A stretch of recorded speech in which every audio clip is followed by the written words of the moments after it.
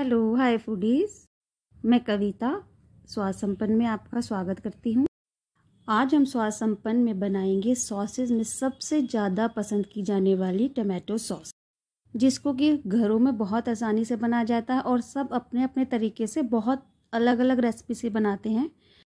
लेकिन अगर आप मेरी रेसिपी को फॉलो करेंगे तो आपको एक सिंपल और एक बेहतरीन सॉस खाने के लिए मिलेगी, जो कि बाज़ार से भी अच्छी बनेगी। तो इसके लिए चाहिए हमें सबसे पहले डेढ़ किलो टमाटर, जिसको जिसको कि आप रफली चॉप कर लीजिए और थोड़ी सी डालिए आठ दस लहसुन की कलियाँ और उसमें एक प्याज डालिए और थोड़ी सी काली मिर्च, दो चार लौंग और एक इंच दालचीनी का टुकड़ा डालिए और डालिए इसमें दो टेबल स्पून पानी और तीन टीस्पून डालिए इसमें नमक और फिर इसको पहले दो मिनट ढक्कन लगाकर हाई फ्लेम पर और फिर उसे सिम करके, जब तक टमाटर गल ना जाए अच्छे से तरीके से, जब तक उसे पकाइए। एक अच्छी टमाटो सॉस बनाने के लिए हमें आधे हाइब्रिड टमाटर और आधे हमें देसी टमाटर लेने होंगे। देसी टमाटर हमारी सॉस को एक अच्छा सा फ्लेवर देंगे और जो हाइब्रिड टमाटर होते हैं वो हमारी सॉस को एक अच्छा सा कलर देते हैं। आज हम जो सॉस बनाएँगे, उसमें हम कोई भी फ़ूड कलर और बीट रूट आदि कोई ऐसी चीज़ नहीं डालेंगे। फिर भी हमारी सॉस का कलर एकदम बाज़ार जैसी सॉस के कलर जैसा आएगा। देखिए, जो इसमें इतना पानी नज़र आ रहा है ना, ये सब हमारे जो देसी टमाटर हैं, उसकी वजह से आ रहा है। इसलिए देसी टमाटर डालना इसमें बहुत ज़रूरी है। अभी इसे और ढककर हमें पकाना है। देखिए, इसमें और पानी आ गया है और यही पानी हमारी सॉस को एक अच्छा टेक्सचर और अच्छा टेस्ट देने का काम करेगा। अभी इसे हमें कम से कम आधा घंटा और पकाना है। जब तक हमारे टमाटर बिल्कुल अच्छे से गल ना जाए और पानी एकदम कम हो जाए, जब तक हमें इसे पकाते रहना है। जिस तरीके से मैं आपको ये दिखा रही हूँ, आपको भी वैसे ही इसे बार बार चेक करते रहना है। और जैसे ही हमारे टमाटर अच्छे से गल जाएँ, आपको गैस बंद कर देनी है।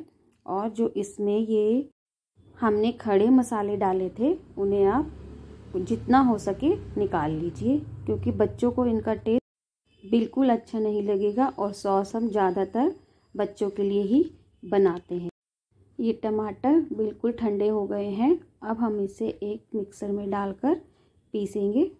एक बात और, इसमें मैंने अदरक नहीं डाली है, क्योंकि मेरे बच्चे अदरक खाना पसंद नहीं करते। इसमें आप डेढ़ से दो इंच का अदरक का टुकड़ा डालिए तो इसका टेस्ट और भी अच्छा आएगा।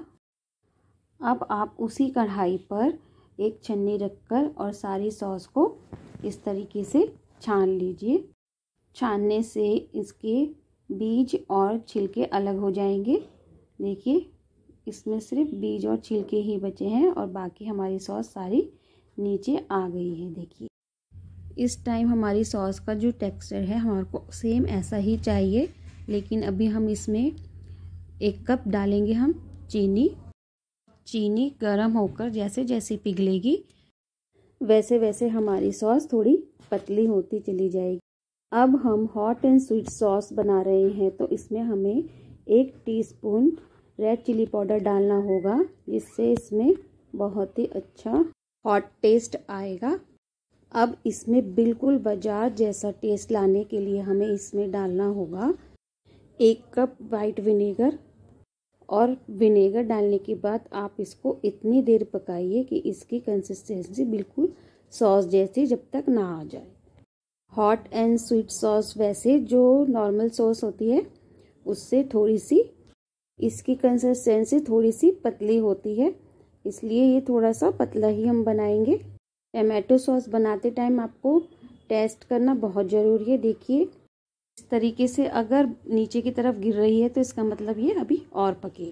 देखिए, हमने इसमें कुछ भी नहीं डाला है, फिर भी हमारी सॉस का कलर कितना अच्छा आया है। अब हम इसे एक बार और टेस्ट करेंगे। देखिए, अब ये बिल्कुल थिक है।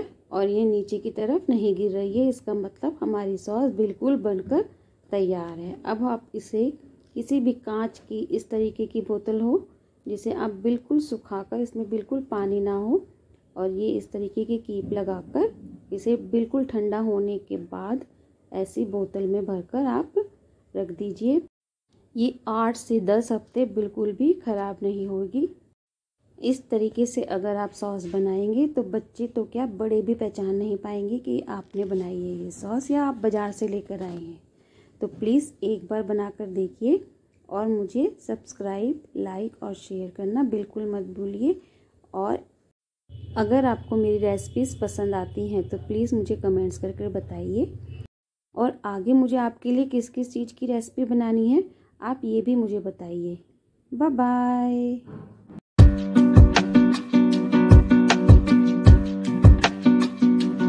Para,